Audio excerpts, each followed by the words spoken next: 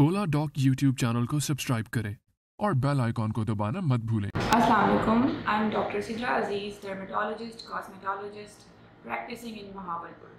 Morning में मैं B में डर्मा डिपार्टमेंट में जॉब करती हूँ और इवनिंग में मेरा क्लिनिक है advance skin and aesthetic centre के नाम से उधर प्रैक्टिस करती हूँ तो आज हम बात करेंगे टीनिया इन्फेक्शन के बारे में पाकिस्तान के टॉप डॉक्टर्स के साथ अपॉइंटमेंट बुक करें वो भी पेशेंट फीडबैक देखते हुए लाखों लोगों की तरह पाकिस्तान के सबसे बड़े डॉक्टर नेटवर्क का फ़ायदा उठाएँ। और आज ही ओला डॉक ऐप डाउनलोड करें। ओला डॉक, डॉक्टर का अपॉइंटमेंट आसानी से। टीनिया, हम कहते हैं फंगल इन्फेक्शन को, जो कि बॉडी पर हो सकता है। इसे काफ़ी टाइप्स होती हैं।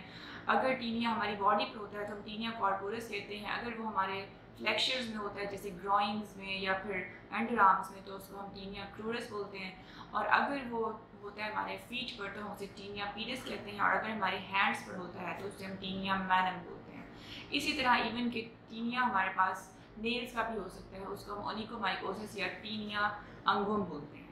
अच्छा अब ऐसा है कि ये जो फंगल इन्फेक्शन होता है, ठीक है, क्योंकि ये एक फंगल इन्फेक्शन एक फंगस की वजह से होता है तो इसकी क्या कॉजेज़ हैं?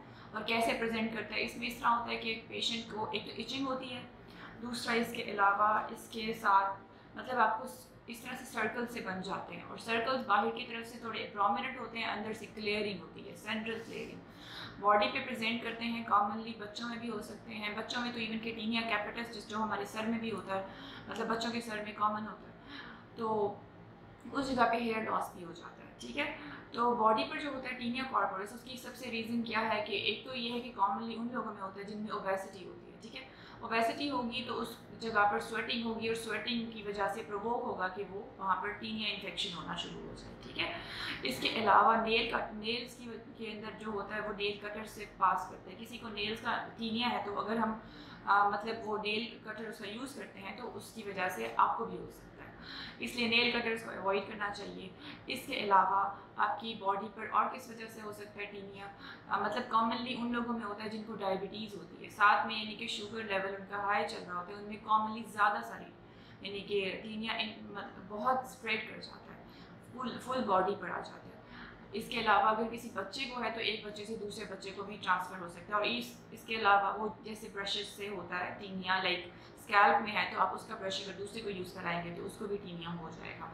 असल में टीनिया, क्योंकि फंगल इन्फेक्शन है तो कॉमनली जिनमें इम्यूनिटी कम होगी, जैसे अभी मैंने बताया डायबिटीज़ इसी तरह और भी डिज़ीज़ हैं, जिसके अंदर हमारे पास इम्यूनिटी कम हो जाती है, या इवन के वेट लूज़ कर रहे हैं, या कुछ ऐसा एक्स्ट्रा आप मतलब न्यूट्रिशनल डेफिसिट है, उसके अंदर भी इम्यूनिटी कम होगी तो फिर ऐसा ही होगा कि आपको टीनिया हो सकता है, ठीक है? और इसके अलावा वाटर मतलब अगर रिटेन रह रहा है, जैसे कि स्वेटिंग बहुत ज़्यादा हो रही है हाइपर हाइड्रोसिस टाइप उस जगह पर भी हो सकता है जैसे टोज़ के दरमियान में फिंगर्स के दरमियान में आप ड्राई नहीं कर रहे पाउडर वगैरह यूज़ नहीं कर रहे, पानी से आप वॉश करते हैं, उसके बाद नहीं ड्राई करते तो उसके अंदर भी कॉमन हो जाता है कि वो रिंग लाइक लीजन्स बन जाती हैं तो उसको हम बोलते हैं टीनिया ठीक है?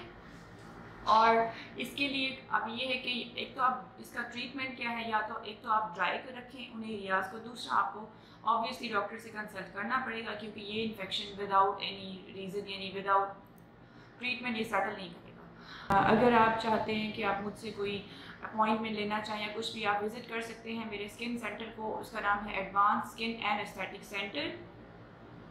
Bahawalpur में नूर महल रोड पर है और इसके अलावा आप मुझे कॉन्टेक्ट ओला डॉग के थ्रू भी कर सकते हैं। Thank you so much.